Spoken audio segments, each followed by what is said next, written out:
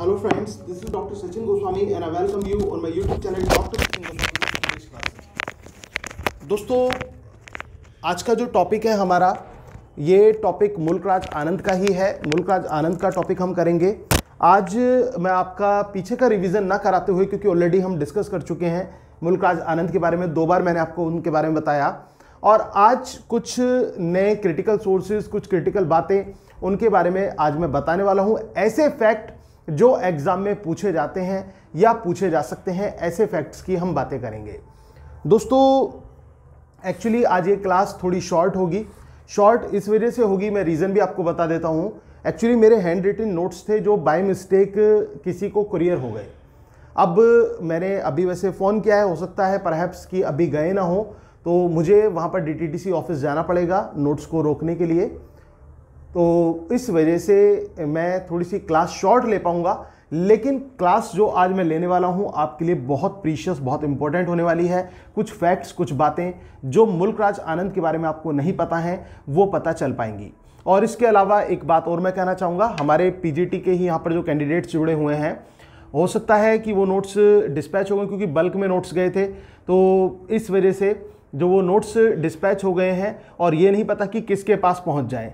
तो आप में से जिसने भी नोट्स के लिए ऑर्डर किया था, और उनके पास अगर जो नोट्स पहुँचते हैं और आपको कंप्यूटराइज नोट्स नहीं मिलते, आपको उसमें हैंड रिटन कोई नोट्स मिलते हैं, क्योंकि प्रीशियस इस वजह से हैं, उसमें ग्रेजुएशन के पोस्ट ग्रेजुएशन के, और इसके अलावा जो आपके ये टीजीटी पीजीटी को लेकर नोट्स हैं, वो उसमें हैंड रिटन है तो इस वजह से वो बहुत प्रीशियस नोट्स हैं। तो दोस्तों, अगर जो आपके पास किसी के पास पहुँचते हैं तो प्लीज़ उसको आप लोग रिटर्न कर देना। मतलब किसी जिसके पास भी पहुँचे तो उसको आप मुझे रिटर्न कर देना, चाहे कोई भी कुरियर चार्जेस आता है I will pay for that तो वो मैं आपको पे कर दूँगा, कोई दिक्कत वाली बात नहीं होगी। तो आप उसको केवल जिसके पास भी पहुँच जाए तो रिटर्न कर देना। वैसे मैं देखता हूँ, मैंने रुकवाने की कोशिश की है, रुक जाते हैं तो बेटर है, नहीं रुकते तो भी मुझे कोई डर नहीं है, क्योंकि आप में से किसी के पास जाएँगे और आप उसको वापस दे सकते हैं।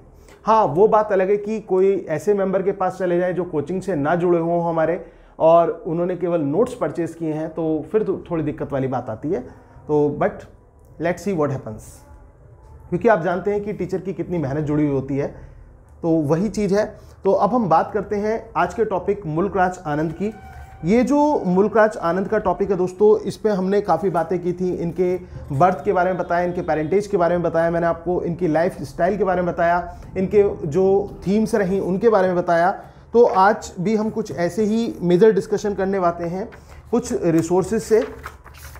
तो सबसे पहले हम बात करेंगे कि क्वेश्चन कैसा आता है, क्या पूछा जा सकता है दोस्तों? क्रिटिकल बुक है मेरे पास इस समय जो ये बुक मैं आपको क्रिटिकल सोर्स से बुक दे रहा हूँ। बहुत एक प्रीशियस बहुत इंपॉर्टेंट बुक है दोस्तों। लेकिन अब आपके पास इतना समय नहीं कि आप इसे पूरी बुक को थोरली स्टडी करें। तो आपके लिए मैंने कुछ मेजर पॉइंट्स इस बुक से लिए हैं और जो कि आपके लिए बहुत बहुत इंपॉर्टेंट होने वाले हैं। और ये एक रिसर्च बुक है तो उससे ये पॉइंट्स लिए गए हैं। दोस्तों, और इसमें जो आनंद है। तो ये क्वेश्चन बनता है Anand terms his philosophy as poetic realism दोस्तों, आनंद आप जानते हैं कि एक नॉवलिस्ट है, एक उपन्यासकार हैं। लेकिन वो अपनी फिलॉसफी को किस रूप में रखते हैं? क्वेश्चन बहुत इंपॉर्टेंट है। एग्ज़ाम में आ सकता है दोस्तों, सारे पॉइंट्स ऐसे दूँगा मैं आपको, जो आपके एग्ज़ाम के पॉइंट ऑफ़ व्यू से, मुल्क राज आनंद के पॉइंट ऑफ़ व्यू से बहुत इंपॉर्टेंट है। तो Anand terms his philosophy as poetic realism Anand जो है, अपनी फिलोसफी को किस रूप में दर्शाते हैं? आनंद अपनी फिलोसफी को पोएटिक रियलिज्म के रूप में रिप्रेजेंट करते हैं। किस रूप में रिप्रेजेंट करते हैं दोस्तों? Your answer will be poetic realism किस रूप में? पोएटिक रियलिज्म के रूप में, काव्यात्मक वास्तविकता के रूप में आनंद अपनी फिलॉसफी को रिप्रेजेंट करते हैं। दूसरा क्वेश्चन बनता है कि उनकी जो फिलॉसफी है, उनकी फिलॉसफी पोएटिक रियलिज्म तो है ही है, इसके साथ साथ कैसी है? तो आपका आंसर होगा कॉम्प्रीहेंसिव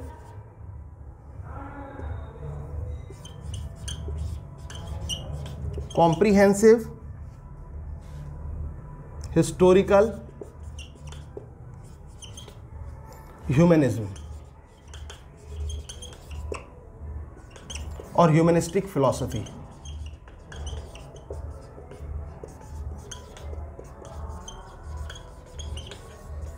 ध्यान रखना इसको।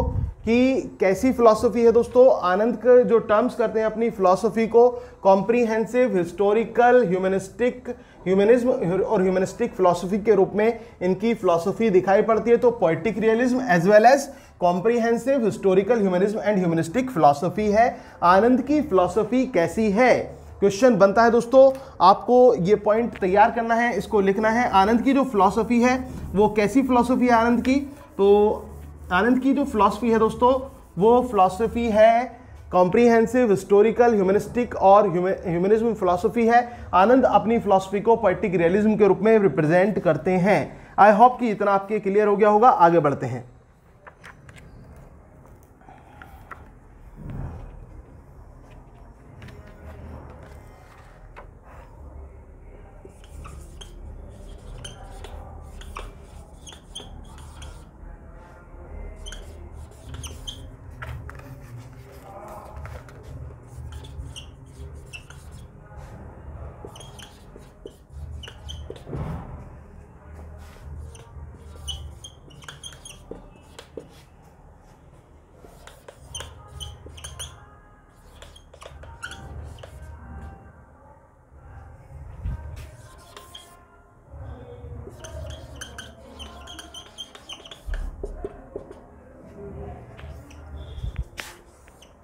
Anand fearlessly chooses his protagonist from dregs of humanity question ये बनता है, आनंद जो है, अपने प्रोटेगोनिस्ट जो उनके मुख्य किरदार हैं, उनको कहाँ से चूज़ करते हैं? तो Anand fearlessly chooses his protagonist from dregs of humanity कहाँ से वो लेते हैं इनको? जो मानवता की जो ह्यूमिनिटी होती है ना ह्यूमिनिटी का जो बिल्कुल एक निम्न स्तर होता है, वहाँ से उनके प्रोटेगोनिस्ट आपको देखने को मिलेंगे। ठीक है? जो इनके प्रोटागोनिस्ट हैं, चाहे वो मुन्नू का किरदार हो, चाहे वो इसके अलावा आपका बाखा का किरदार हो, वो आपको, चाहे गौरी का किरदार हो, कहाँ से वो देखने को मिलेंगे? वो ड्रैक्स ऑफ़ ह्यूमिनिटी से आपको वो कैरेक्टर्स देखने को मिलेंगे। ठीक है तो आनंद एक बार फिर से समझिए इन पॉइंट्स को। आनंद जो है, अपनी फिलोसफी को पोइटिक रियलिज्म के रूप में दर्शाते हैं। इनका जो है कॉम्प्रीहेंसिव हिस्टोरिकल ह्यूमनिज्म के रूप में फिलोसफी देखी जाती है। Anand fearlessly chooses protagonist from dregs of humanity कहाँ से चूज़ करते हैं अपने प्रोटेगोनिस्ट को? ड्रैक्स ऑफ़ ह्यूमिनिटी से। आनंद अपने प्रोटेगोनिस्ट को चूज़ करते हैं। इनके जो प्रोटेगोनिस्ट हैं, वो कहाँ से लिए गए हैं? ड्रैक्स ऑफ़ ह्यूमिनिटी से लिए गए हैं। आई होप कि इतना क्लियर हो गया होगा। दोस्तों, आगे बढ़े।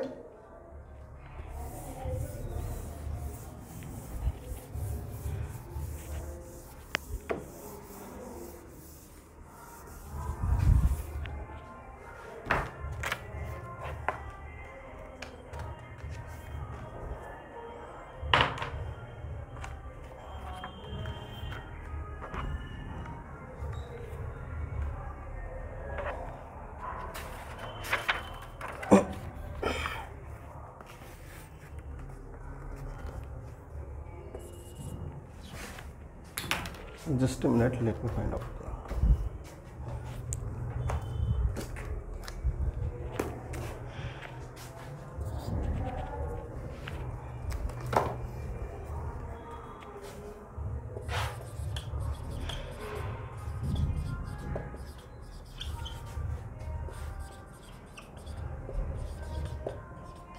दोस्तों, आनंद के चॉइस ऑफ़ कैरेक्टर्स की बात करें तो आनंद के चॉइस ऑफ़ कैरेक्टर्स को दो भागों में बांटा गया है। There are two division of Anand choice of characters अब दो डिविजन कौन कौन सी हैं? The first is sufferers and the second is saviour याद रखना सफरर्स एंड सेवियर्स ये दो चॉइसेस ऑफ़ कैरेक्टर्स हमें आनंद के वर्क्स में, आनंद के उपन्यासों में देखने को मिलती है। डॉक्टर मुल्कराज आनंद के जो उपन्यास हैं, उनमें हमें two choices of characters and choices को हम डिवीज़न ऑफ़ कैरेक्टर्स भी कह सकते हैं दोस्तों।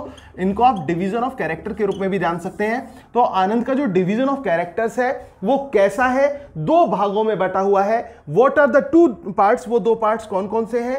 ध्यान रखना the first is sufferers sufferers और सेकंड की बात करें तो वो है सेवियर्स सफरर्स एंड सेवियर्स ये दो मेजर पार्ट्स हैं, दो मेजर डिवीज़न है कैरेक्टर्स के. The very first is sufferers and the second is saviours कौन कौन से हैं? सफरर्स एंड सेवियर्स इनके दो मेजर डिवीज़न आनंद के जाने जाते हैं. ठीक है ना? दो मेजर डिवीज़न हैं. कौन कौन से डिवीज़न है दोस्तों? सफरर्स हैं और सेवियर्स हैं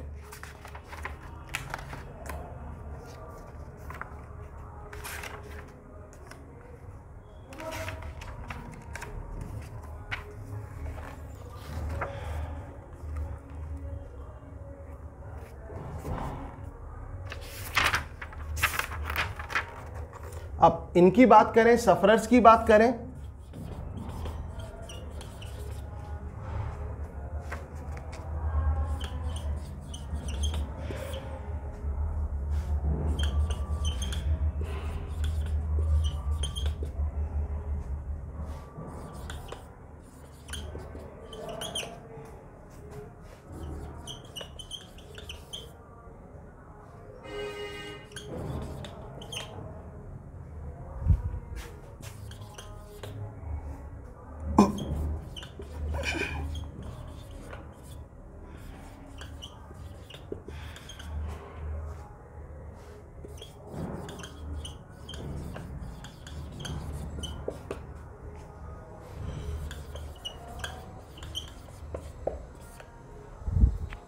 Sufferers reveal real plight of contemporary India and saviors provide hope against despair.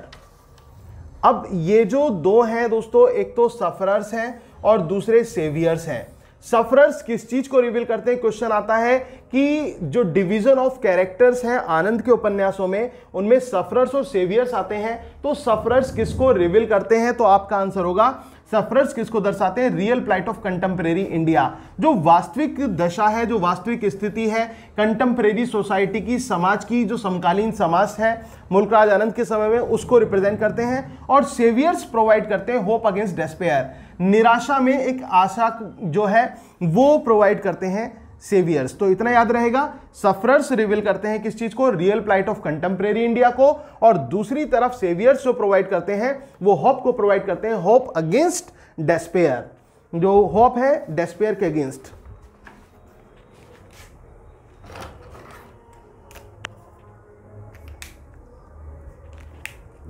आगे बढ़ते हैं। इतना समझ में आ गया? तो इनके अगर जो हम बात करें आनंद के चॉइस ऑफ़ कैरेक्टर्स के, दोस्तों, दो भागों में बांटे गए हैं। The very first is sufferers and the second is saviours sufferers जो रिवील करते हैं किसको? Real plight of contemporary India को, और सेवियर्स प्रोवाइड करते हैं किसको? होप अगेंस्ट डेस्पेयर को।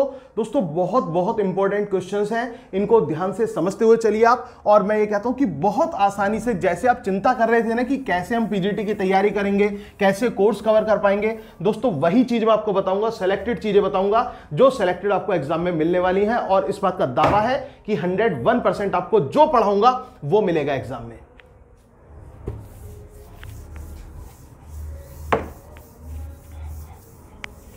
और ये कोई ओवर कॉन्फिडेंस नहीं है, ये एक एक्सपीरियंस के बल पर मैं ये बात कह रहा हूँ। तो उसी तरह से आपको चीज़ें स्ट्रेटेजी के अकॉर्डिंगली कराई जा रही हैं। और जो आपके एग्ज़ाम में आ सकता है, दोस्तों, जैसे कि आप समझ भी रहे होंगे कि रणनीति को मैंने अपने बदला है स्ट्रेटेजी को भी मैंने थोड़ा सा चेंज किया है, और उसी स्ट्रेटेजी के अकॉर्डिंग मैं आपको पढ़ा रहा हूँ ताकि आपका कम समय में ज़्यादा वर्क हो जाए और आप अच्छी तरह से उसको समझ पाएँ।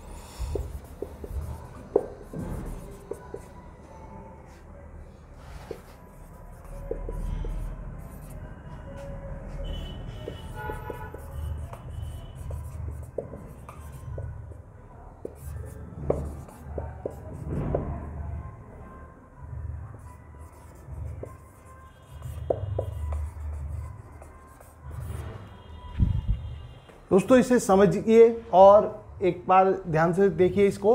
Those people who say I have no theory of fiction are more or less correct सबसे मेन तो यही है, इतना ही पूछा जाता है अक्सर तो बाकी तो एडिशनल है, लेकिन फिर भी सारा समझते हुए चलना। Those people who say I have no theory of fiction are more or less correct वो लोग जो ये कहते हैं कि मुल्कराज आनंद के पास तो कोई थ्योरी ही नहीं है, किस चीज़ की थ्योरी नहीं है फिक्शन की थ्योरी नहीं है, वो कहीं ना कहीं थोड़ा ज़्यादा हो सकते हैं या कम हो सकते हैं, लेकिन वो उनकी बात सो टके खरी है। सही बात है। और क्या सही बात है दोस्तों? Those people who say I have no theory of fiction वो लोग जो ये कहते हैं कि मेरे पास कोई थ्योरी नहीं है फिक्शन की आर मोर लेस करेक्ट वो कम या ज़्यादा बिल्कुल सही कह रहे हैं। वो या तो ज़्यादा मात्रा में या कम मात्रा में बिल्कुल सही बात कह रहे हैं कि भैया, मेरे पास कोई थ्योरी नहीं है। ऐसा मुल्क राज आनंद खुद एक्सेप्ट करते हैं, क्योंकि वो किसी थ्योरी पर काम नहीं करते। वो तो समाज में जो देखते हैं, समाज के जैसे लोगों से मिलते हैं। मैंने कल भी बताया था कि मुल्क राज आनंद क्या कहते हैं, वो ये कहते हैं कि मेरे जो कैरेक्टर्स हैं, वो समाज से उठाए हुए हैं, उन लोगों से उठाए हुए हैं जिनसे मैं मिला हूँ, जिनसे मेरी बातें हुई हैं, जिनको मैंने जाना है, उनसे मेरे कैरेक्टर्स जो हैं, वो मिलते हैं। तो दोस्तों, यही बात है दोस्त people who say I have no theory of fiction are more or less correct जो लोग ये कहते हैं कि मेरे पास कोई थ्योरी नहीं फिक्शन की, वो मोर और लेस करेक्ट है and yet one does not need to formulate a systematic theory to write fiction or react to its varied expressions और one does not need to formulate a systematic theory और किसी को कोई एक systematic theory चाहिए भी नहीं। किस चीज़ के लिए? फिक्शन लिखने के लिए किसी थ्योरी की आवश्यकता नहीं है, किसी सिस्टमैटिक थ्योरी की। And to react to its various expression और उसके वेरियस एक्सप्रेशन पर रिएक्ट करने के लिए भी किसी थ्योरी की आवश्यकता नहीं है। ये बात किसने कही? तो दोस्तों, ये बात कही मुल्क राज आनंद ने। तो कुल मिलाकर ये याद रख लेना, मुल्क राज आनंद को अपने किसी उपन्यास को लिखने के लिए किसी सिस्टमैटिक थ्योरी की आवश्यकता नहीं थी। आपने ये बात दिमाग में बैठा ली तो स्टेटमेंट तो यूँ ही बैठ जाएगा। और ये भी याद रख लेना, जो लोग ये कहते हैं कि मुल्क राज आनंद के पास तो कोई थ्योरी थी नहीं, वो तो मुल्क राज आनंद खुद कहते हैं हाँ भैया, मेरे पास नहीं है कोई थ्योरी लिखने के लिए। ठीक है, वो तो केवल और केवल समाज से प्रेरित होकर, समाज की चीज़ों को देखकर, वास्तविकता को देखकर चीज़ों को लिखते हैं, अपने उपन्यासों में जगह देते हैं। आई होप की कॉन्सेप्ट क्लियर है। आगे बढ़े। दोस्तों, अगर जो क्लास में आपको एन्जॉयमेंट हो रहा हो अच्छा लग रहा हो, और तो प्लीज़ वीडियो को लाइक ज़रूर कर देना और कमेंट सेक्शन में अपना रिप्लाई करके ज़रूर बताना कि आपको मुल्कराज आनंद पढ़ने में मज़ा आ रहा है नहीं आ रहा है। आगे बढ़ते हैं।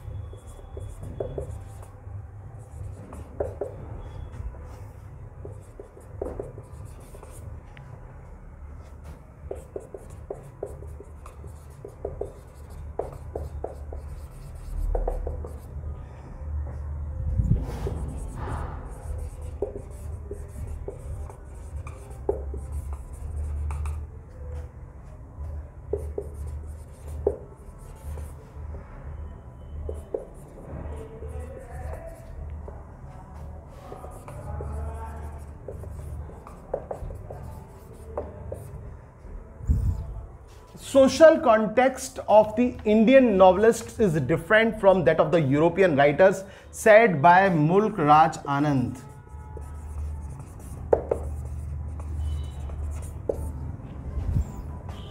जो सोशल कॉन्टेक्स्ट एक सामाजिक स्वरूप है, किसका जो इंडियन नॉवलिस्ट हैं, उनका वो डिफरेंट है किससे? वो यूरोपियन राइटर्स से बिल्कुल डिफरेंट है, बिल्कुल हटकर है। ये बात किसने कही? ये बात मुल्क राज आनंद ने कही। किसने कही ये बात? इस बात को मुल्क राज आनंद ने कहा कि सोशल कॉन्टेक्स्ट जो है, किसका? इंडियन नॉवलिस्ट का वो डिफरेंट है किससे? वो डिफरेंट है हमारा यूरोपियन राइटर से। इट वो said by Mulk Raj Anand. I hope के क्लियर हो गया होगा। आगे बढ़े।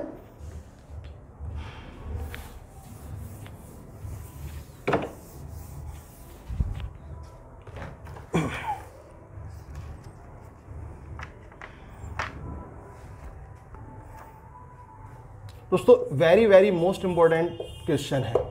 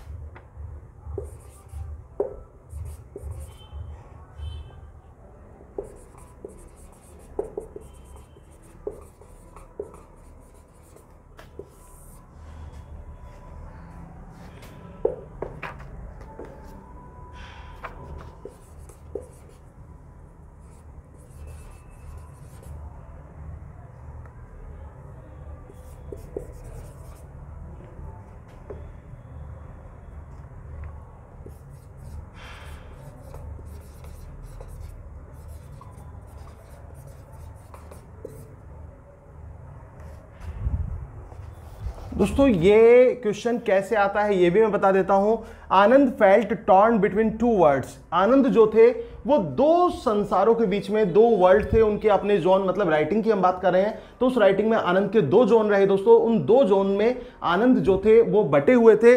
और ये क्वेश्चन आता है कि किसकी तरह आनंद जो थे, Anand felt torn between two worlds किसकी तरह? किस इंग्लिश राइटर की तरह? Your answer will be Matthew Arnold आपका आंसर क्या होगा? मैथ्यू अर्नोल्ड मैथ्यू अर्नोल्ड की तरह आनंद जो थे, वो टू वर्ल्ड्स में डिवाइड वो थे मतलब टॉन थे। और इसमें वो दो वर्ल्ड कौन थे, ये भी पूछा जा सकता है कि वो दो वर्ल्ड की जिसकी हम बात करते हैं टू वर्ल्ड्स की, वो टू वर्ल्ड कौन कौन से हैं? द वन वॉज़ डेड एक तो डेड वर्ल्ड है and the other is powerless to be born और दूसरा कैसा है? जो अपने आप में पावरलेस हुआ है मतलब जिसके अंदर कोई शक्ति ही नहीं है, वो डेड वर्ल्ड हैं जस्ट लाइक मैथ्यू अर्नोल्ड बिल्कुल मैथ्यू अर्नोल्ड की तरह। तो उसमें ये जो आनंद थे, वो इस तरह से मतलब फ्रेगमेंट्स में दो भागों में वो टॉन थे। आगे बढ़े तो आनंद के दो वर्ड पता चले आपको, एक तो डेड और एक पावरलेस याद रख लेना one is dead and other is powerless एक तो डेड है और दूसरा पावरलेस है।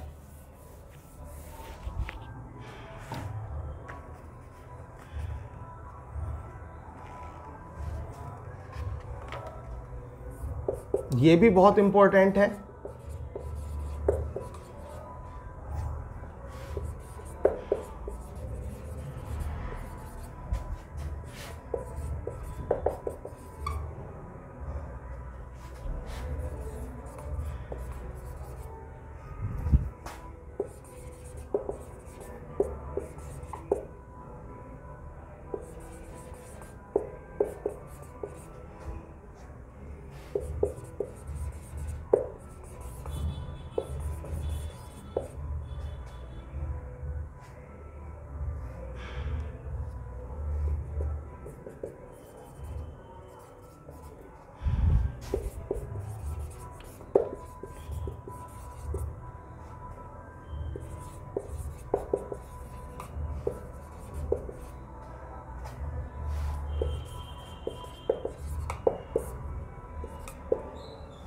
I wish to be just as a writer who has tried to tell the truth of life.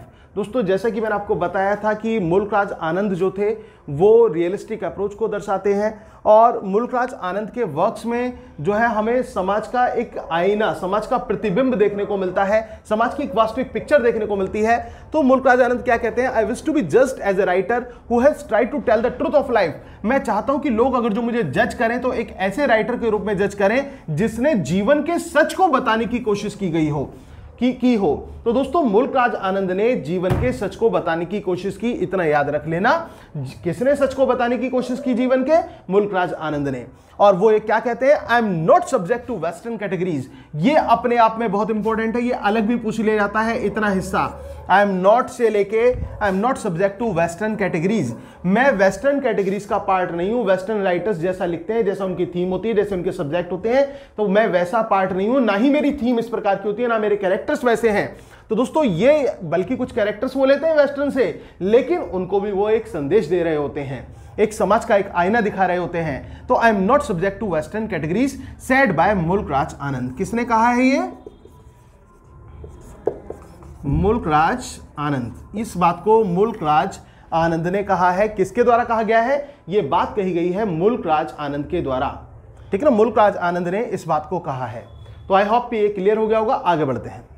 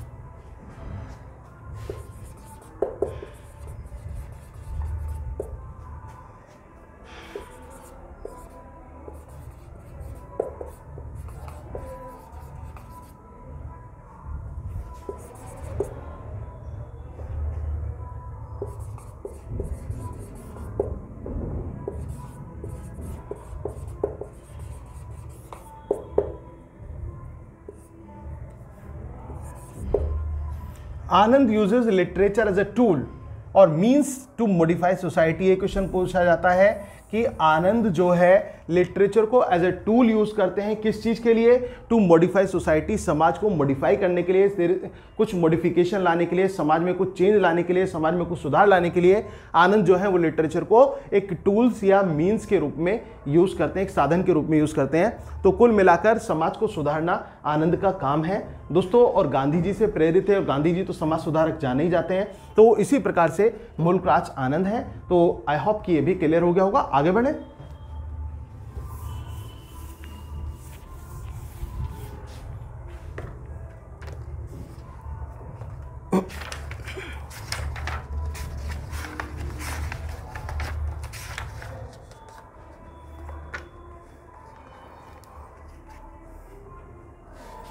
Question ये आता है which writer is known as comprehensive historical humanism किस राइटर को कॉम्प्रीहेंसिव हिस्टोरिकल ह्यूमनिज्म के रूप में जाना जाता है? Your answer will be Mulk Raj Anand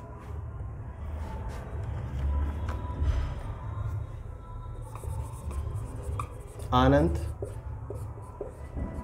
is known as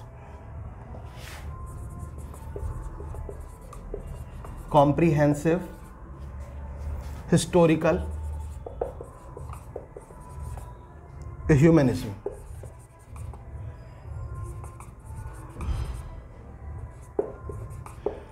Anand is known as comprehensive historical humanism Anand को कॉम्प्रीहेंसिव हिस्टोरिकल ह्यूमनिज्म के रूप में जाना जाता है। किसके रूप में आनंद को जाना जाता है? तो दोस्तों, आपका आंसर होगा कि आनंद जो है, आनंद एक कॉम्प्रीहेंसिव हिस्टोरिकल ह्यूमनिज्म के रूप में आनंद को जाना जाता है। What will be your answer a comprehensive historical humanism Anand is known as comprehensive historical humanism I hope ये क्लियर है. आगे बढ़े. क्वेश्चन आता है कि कौन से राइटर को कॉम्प्रीहेंसिव हिस्टोरिकल ह्यूमनिज्म के रूप में जाना जाता है? आपका आंसर होगा मुल्क आनंद. आगे बढ़ते हैं.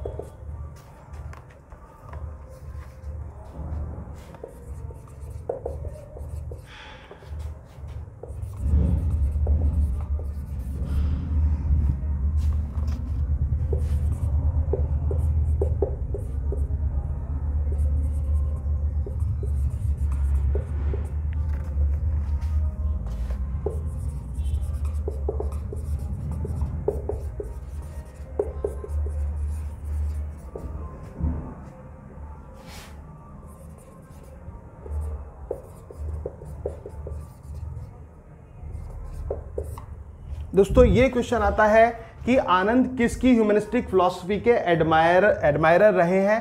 तो आपका आंसर क्या होगा?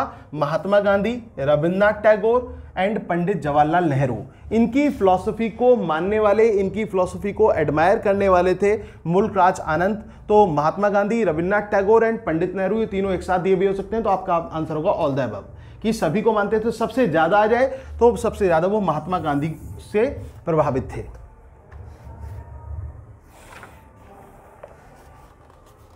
इसके अलावा ये एक फिलॉसफी में इसमें भी विश्वास करते थे और कहते थे every man is master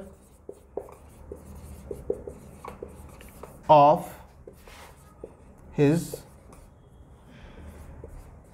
own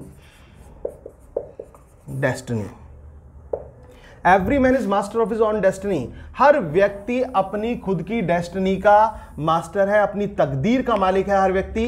This is the philosophy followed by Mulk Raj Anand. इस फिलोसफी को कौन मानते थे? मुल्क राज आनंद इस फिलोसफी को मानते थे। क्या कहते थे? Every man is the master of his own destiny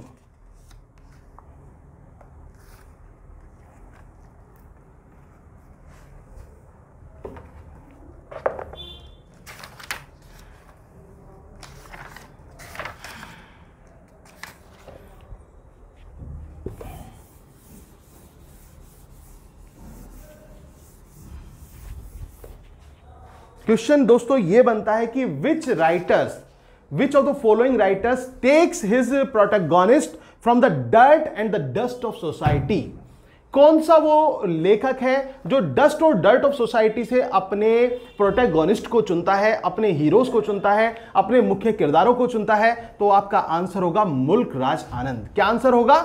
मुल्क राज आनंद। तो मैं इसको लिख देता हूँ।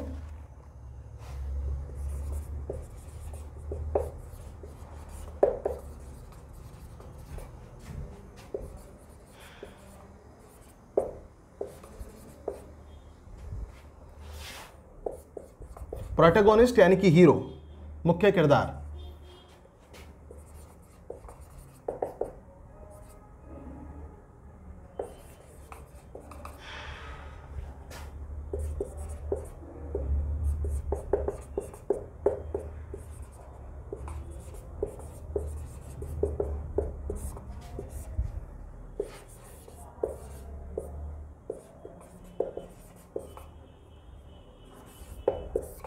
So Mulk Raj Anand take his protagonist from the dirt and dust of society कौन सा वो राइटर है जो अपने प्रोटेगोनिस्ट को डर्ट और डस्ट से लेता है dirt and dust of society your answer will be Mulk Raj Anand आपका आंसर क्या होगा दोस्तों? मुल्क राज आनंद होगा। मुल्क राज आनंद जो है, वो अपने कैरेक्टर्स को कहाँ से चुनते हैं? वो dirt and dust of society से अपने कैरेक्टर्स को सेलेक्ट करते हैं। तो आपका आंसर मुल्क राज आनंद होगा। Mulk Raj Anand take his protagonist from dirt and dust of society कौन से राइटर हैं जो डर्ट एंड डस्ट से लेते हैं अपने कैरेक्टर्स को? योर आंसर विल बी मुल्क राजानंद आई होप कि ये भी क्लियर हुआ होगा। आगे बढ़ते हैं।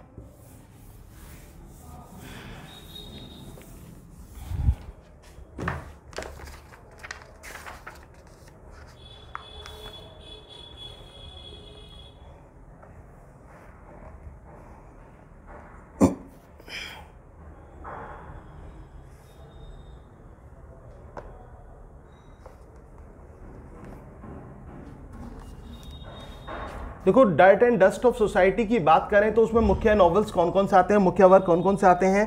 एक तो आता है हमारा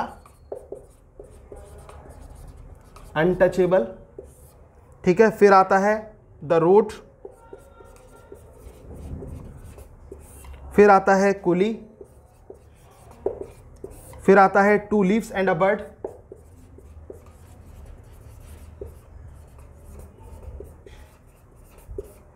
इसके बाद आता है the old women and the cow.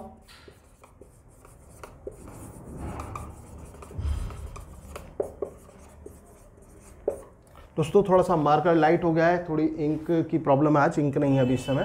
तो थोड़ा सा एडजस्ट करना, मैं बोल देता हूँ, untouchable, the road coolie the leaves and, two leaves and a bird, the old women and the cow.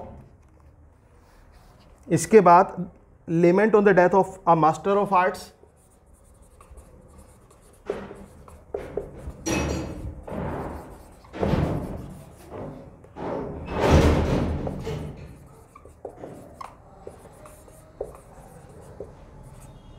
इसके बाद आता है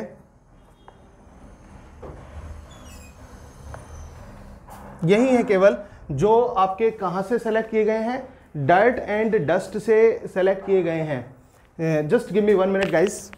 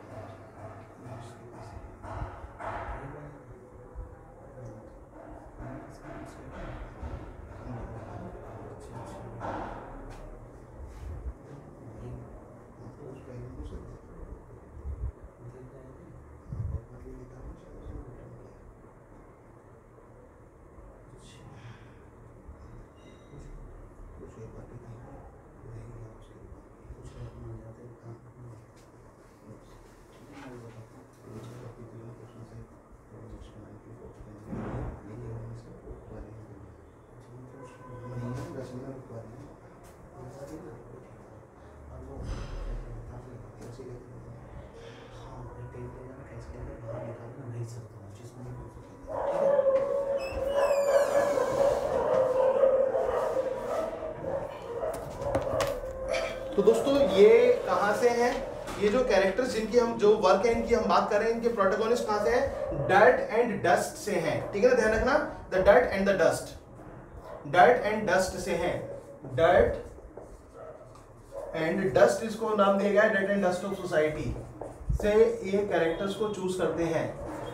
प्रोटेगोनिस्ट को अपने जो मेन वर्क है वो कौन कौन से है? Untouchable the road coolie two leaves and a the old woman and the cow lament on the death of a masters of arts so these are the works तो आई होप कि ये clear हो गया होगा।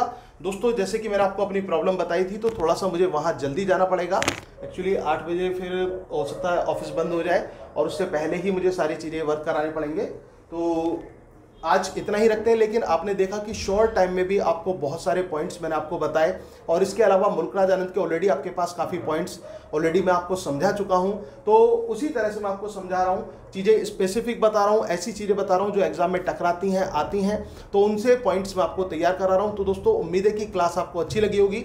अगर जो आपको पढ़ाया हुआ अच्छा लगा हो तो प्लीज़ वीडियो को लाइक ज़रूर कर देना और कमेंट बॉक्स में अपना रिप्लाई देकर भी बताना। Thank you very much yours doctor Sachin Goswami.